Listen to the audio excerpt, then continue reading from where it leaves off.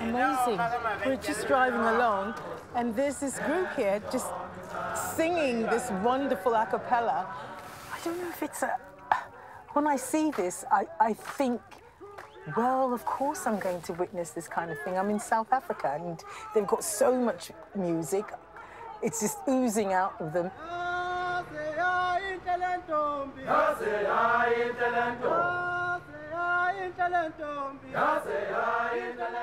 It just shows how much their culture is part of their everyday lives. So, you know, you get a day off, and what do you do? You hook up with mates and get down to it.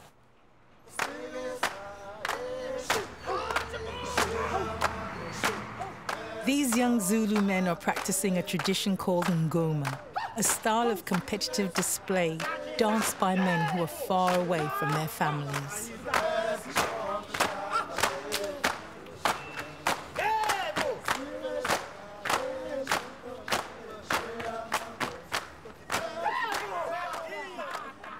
Oh, that's just brilliant.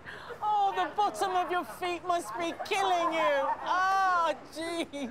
Oh, I can't do it. Can I dance no. I, I, this is the only bit I can do, right?